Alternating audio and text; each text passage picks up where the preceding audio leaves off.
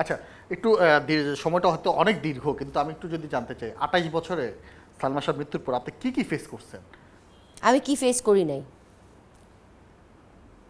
আমি কি ফেস করি নাই? যেদিন হয়েছে ঘটনা, সেদিন থেকে যা দেখলাম, সেটা তো আমার মনে হয় এই জীবনে মানে ওয়ান মিলিয়নের মধ্যে হয়তো দশজনও দেখে না, আমি যা দেখেছি, নিজের চোখে।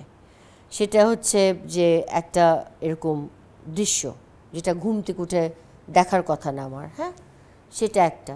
তারপর থেকে তো শুরু হলো অত্যাচার, তারপর তো ডিবি, তারপর তো আবার ডিবি, তারপর তো আবার সিআইডি, তারপর রিজভি, তারপর কোর্টে পনেরো বছর, তারপর পিবিআই হ্যাঁ? আর তার মধ্যে অল থ্রু আউট এই আঠাশ বছর খালি মাঠে গোল দিয়ে এক একতরফা উনি খালি আমার বদনাম, গালি অনলাইনে উল্টাপুল্টা রিল ছাড়া, এখান থেকে একটু নিয়া, ওখান থেকে একটু নিয়া, মিথ্যা কথা বলা, ডনকে নিয়ে একটা সাবরিনা নায়িকার সাথে একটা ছবি আছে, সেটা বলছে আমার ছবি।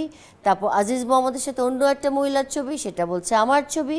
কোনো কিছু তো উনি প্রমাণ করতে পারেনি আজ পর্যন্ত till date twenty twenty four এখন পর্যন্ত উনি আমাকে নিয়ে কোনো কেস দাঁড়া করাতে পারেনি কেন? উনি তো আওয়ামী লীগও জয়েন করেছিলেন। কেন পারেন নাই? ওনার কাছে তো কোনো কিছু আসলে ভিত্তি নাই। উনি সম্পূর্ণ এটা একটা বানাওয়াট গল্প নিয়ে মানুষের sympathy because she wants to be she wants power she wants to dominate সে চাচ্ছে এখনও সে তার ভিডিওর মধ্যে বলে দেশবাসী যদি আমাকে চায় আমি আসব। আপনি চান? আমি চাই উনি আসুক এবং বিচার হোক ওনার আচ্ছা আপনি বলছেন তার সে কোনো প্রমাণ দেখাতে পারেনি আপনার বিরুদ্ধে। একটাও না। কিন্তু সে প্রমাণ না দেখিয়ে বছরের পর বছর আপনাকে সে অত্যাচার করে গেছে। আদালতের অত্যাচার করে গেছে। হ্যাঁ আদালতে বারান্দায় ঘুরিয়েছে। আমি আদালতে বারান্দায় যেতে হয়নি। আমার তো কোনো কেস করতে পারেনি উনি। উনি আমাকে কোনো কেস করতে পারেন নাই। আপনাদের এটা বুঝতে হবে। একটা জিনিস you all have to be very very মানে you you have to know this যে আমার আমার এগেনস্টে কিন্তু কোনো উনি যে আসামি ওয়ার্ডটি ইউজ করে এটার জন্য ওনার আমার ওনাকে মামলা করা উচিত। আমি একবার শুনেছিলাম বা আপনিও বোধহয় রাগের মতো একবার বলেছিলেন যে আপনি মানহানি মামলা করবেন করেছি আমি। আমি মানহানি? মামলা বাধ্য হয়ে করেছি লাস্ট পাঁচ বছর পাঁচ বছর কি ছয় বছর আগে। আচ্ছা। করেছি। তারপর তো চুপচাপ ছিল এতদিন।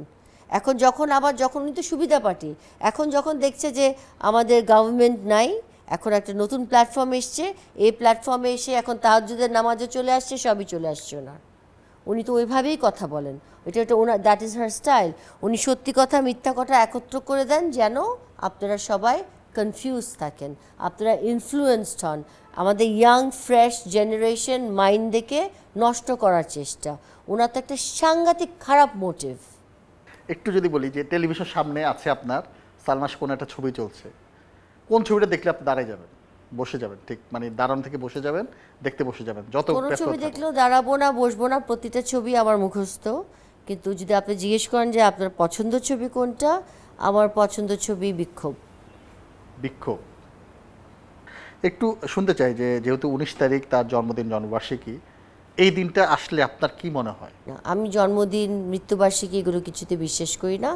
আমাদের এখানে ফ্যামিলিতে আমার আম্মা, আমার বোনরা, আমার আমার যারা মুরব্বীরা আছেন, সবাই আমরা দোয়া করি, আমাদের কোরআন শরীফ খতম, যা যা নিয়ম আমরা যা যা করি, সেগুলোই করি।